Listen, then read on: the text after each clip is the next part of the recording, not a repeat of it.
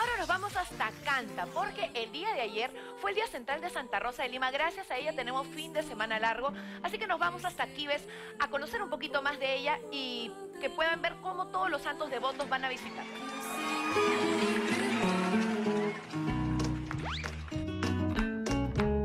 Cada 30 de agosto en Lima, largas e interminables colas se forman en las afueras del convento de Santa Rosa, por ingresar y llegar al famoso Pozo de los Deseos de la Santa Limeña.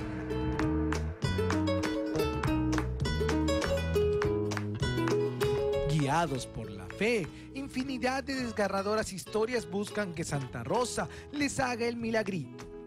Desde Cerro Camote de Huachipa. ¿Qué es lo que más desea? que me ayude a solucionar ese problema que tengo. ¿Tienes fe de que hacen entrar a poder entregar? Sí, me quieren quitar mi, mi casa.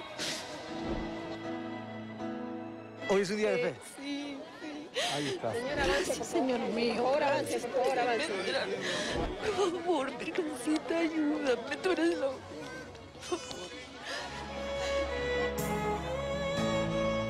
Pero hay otro lugar tan espiritual como este para los fieles devotos, la tierra donde creció e inició su camino a la santidad, el distrito de Quibes. Y hasta allá nos fuimos para conocer el origen de Santa Rosa de Lima.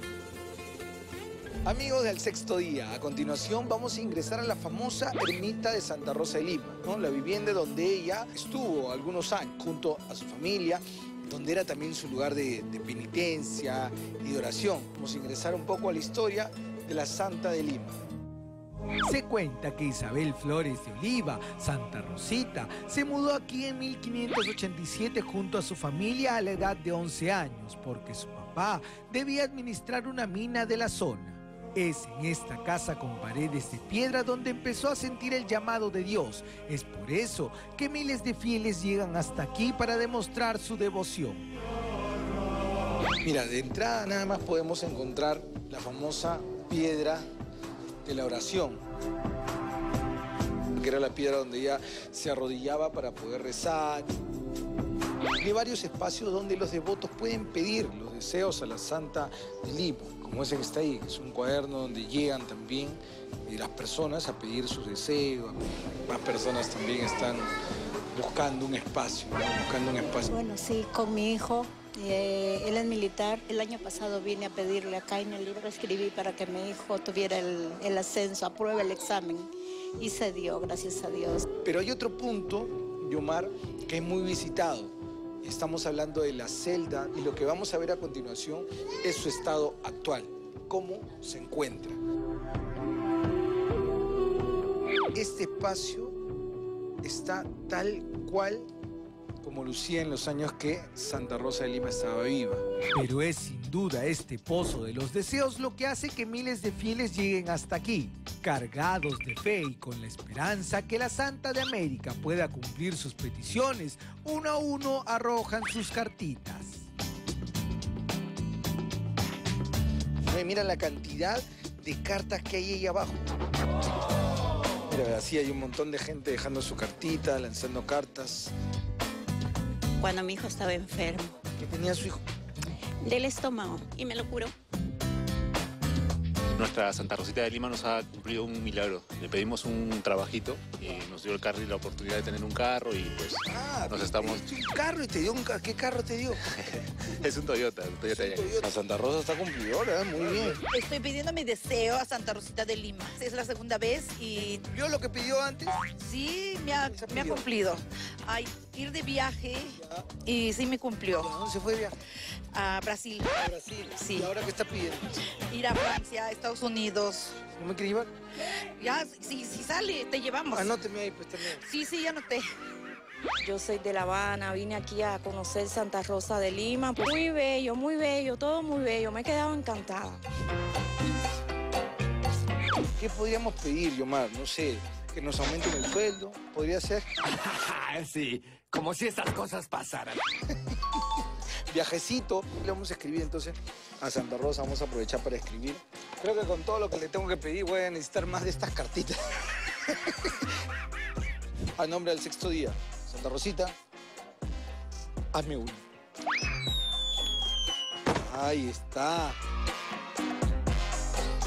Pero si vino hasta Quibes movido por la fe, además del santuario usted puede aprovechar el viaje para conocer un poco más del pueblo de Santa Rosa, que no solamente es espiritual, sino también está lleno de hermosos paisajes, rica gastronomía y full adrenalina. Y aquí en Quibes está el segundo canopy más extremo y largo del Perú. ¡Vamos! Para poder lanzarte tienes que subir a esta torre, mírame que mierda. No, ahí sí definitivamente tienes que encomendarte a Santa Rosa para que todo vaya bien. Este canopy lo empezamos en la torre. 35 metros de torre, 15 pisos aproximadamente. Cruzas el valle y cruzas el, río Chillón que pasa al fondo. ¿Sabes? 150 metros el río abajo. 150 metros de altura. 150 y sobre todo seguro. Aquí imagino que es más seguro porque estamos cerca de Santa Rosa. Acá ya pusiste tu cartita a Santa Rosa. Ya le, sí, le puse ahí que por favor todo salga bien en el canopy. Y va a salir bien. Ahora sí, encomendados a Santa Rosa, estamos listos para vivir la experiencia del canopy más extremo del Perú.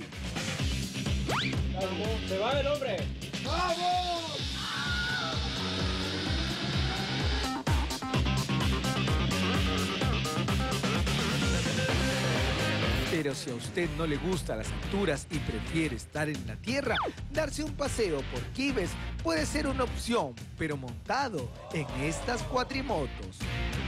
Yo si no estoy esperando a mi guía, me he hecho que lo espera acá que va a venir para enseñarme a manejar la moto y todo. Guía. ¿Tú dices guía? No, pe sea, oh, no sea, pues. O firme, dice guía, un guía de cuatrimoto. Ya, pe. Será, acá en Santa Rosa pasan cosas curiosas. Luego de todas estas actividades, es imposible que no se le abra el apetito. Tranquilo, porque en Santa Rosa de Quibes su gastronomía es celestial, sobre todo en la finca de la Norteñita, donde los platos son elaborados con productos de la zona. Este es el plato innovador de la finca La Norteñita. Es una trucha en una salsa de pachamán. ¿Qué tenemos aquí? Este es un cabrito con frijoles. Uy, otro que le gusta a mi camarón. ¿Qué? Y obviamente en un, en un lugar que se llama la finca de la Norteñita no puede faltar El ceviche. el ceviche. ¡Qué rico! Ah, ceviche de trucha. Uy, no.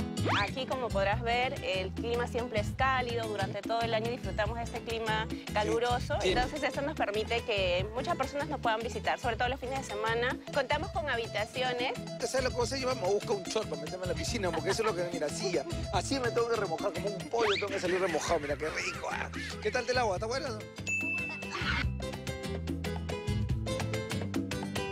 Que la fe siga creciendo en su corazón, que Santa Rosa ilumine sus días. El pueblo de la patrona del Perú, la Santa de América, los espera con los brazos abiertos.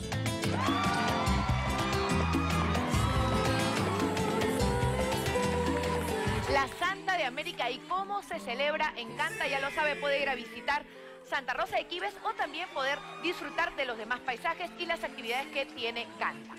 Ahora ha llegado el